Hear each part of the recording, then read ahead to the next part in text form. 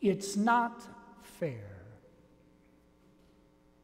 I mean, left after all, let's let's just cut to the chase. Let's let's call a spade a spade. Let's just name it for what it is. It's not fair. That's the normal reaction that you and I have every single time we hear this gospel passage proclaimed. It just isn't fair. If you and I had a quarter for every time that somebody has said that to you and I, it's not fair. Or if we had a quarter every time that you and I said to somebody else, it's not fair, I'm guessing we would all financially be well secured. Would we not? Sure, we would. It's not fair. It's something I heard my older siblings say over and over and over again to my parents with regards to us younger siblings. After all, we got to do things they didn't get to do. We got to participate in more sports activities than my older siblings got to do. We got to be able to do this that they weren't able to do. And so my older siblings would constantly remind my mother and dad and us younger siblings the fact that it's not fair. To which I would always reply, Yeah, you want to talk about what's not fair? Let me tell you this. Well, when you older siblings were born and came into the world, mom and dad, with the first couple of kids, were very concerned about doing everything right and making sure that the kids were well taken care of. And so when your bottle fell out of your mouth or your pacifier, why they would pick it up and they would sterilize it under hot water and all that kind of stuff. And with us younger kids, why if our pacifier fell out and it fell on the ground and got dirt on it, they would wipe it off on their pants. They would suck on it once and stick it in our mouths. You want to talk about fairness? Let's go at it, huh? It's not fair. The comparativeness in all of us continues to be rampant, and it's what is at the very heart of today's gospel. People complaining. Actually, as Matthew tells us, they're grumbling. Grumbling, those, those initial people that were hired early in the morning who put in the full day's burden and heat of working in the vineyard. Why? When you and I respond to the fact that it's not fair to today's parable, basically what we're doing, is it not true, is that we are associating ourselves with which group? The ones who were hired first. But now think about it for a moment. Think about if you and I were the ones that were hired at five o'clock and only put in an hour's labor, what would our response be? Would it be, it's not fair? So maybe as we think about and reflect upon today's parable, maybe we should try to put ourselves in the shoes and in the life of the five o'clock workers. But actually, we don't need to go there either because I'm guessing the five o'clock workers would have their reason for saying it's not fair as well, especially when they heard, of course, those who were hired early in the morning or at noon or at three o'clock grumbling against them. And so the it's not fairness is going back and forth. Actually, today's parable wants you and I to reflect not on those who are hired early in the morning. We're not to reflect on those hired at noon. We're not to reflect those hired at three o'clock, nor should we be concerned about those hired at five. What God wants us to reflect on through the gift of Jesus Christ is the landowner.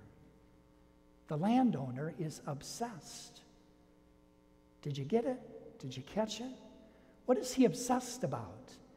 He's obsessed about the fact that people are standing around idle in the marketplace.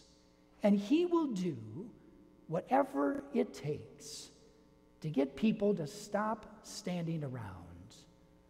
So he goes early in the morning, and he goes again at noon, and he goes again at three o'clock, and he goes again at five o'clock. Why? Because he doesn't want people to be idle. The landowner wants everyone to be workers, to be workers in the vineyard. And there, my friends, is the key to the parable. It's the key, more importantly, to our lives, to our purpose, to our meaning, to the reason why God has chosen to place you and I here at this moment and this time in this place in history is because God desires and needs workers in the vineyard. And those people are you and I. And we have to stop standing idly by. We have to stop standing idly by, grumbling about the fact of the political state of our country today. We have to stop standing by, simply grumbling about the fact that there's injustice. We have to stop standing by in the marketplace, grumbling about the fact that this person is getting more than this person, and this person is getting what they shouldn't be getting, and et cetera, et cetera, because, of course, that's what we do, huh? We stand around and we grumble, and we're in the marketplace being idle. So Jesus says to you and I, as he did to all those in the parable, you too come into my vineyard.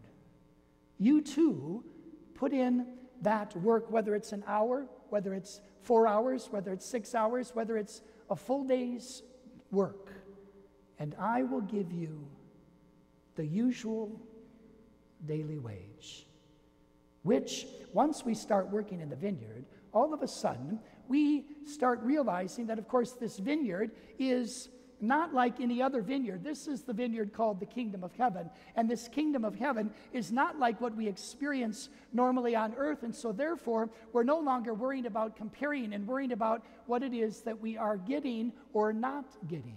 Because once our focus is on the landowner and the kingdom of heaven that we are working in, why then all of a sudden it's no longer worrying, we're no longer worrying about comparing ourselves to others. We're no longer worrying about what it is we are getting, but rather our focus now is what we are able to do, what we are able to give, more importantly, who are, we are able to be.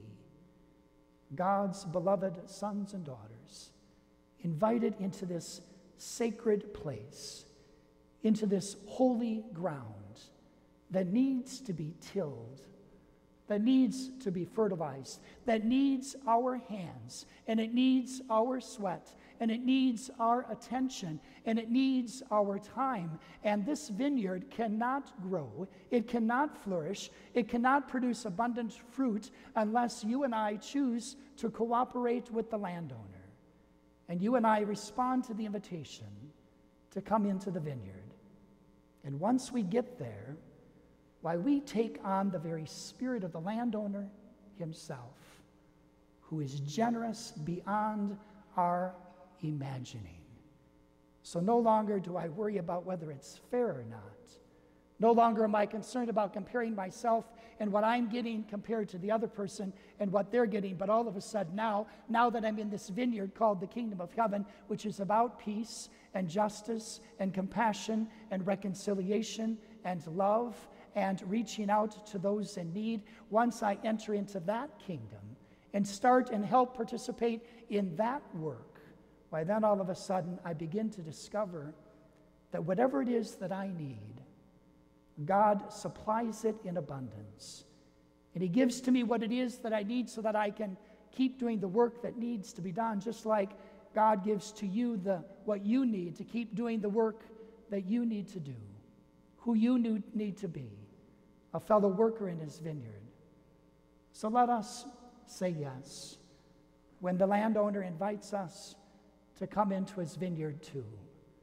Let us not worry about what time of the day it is.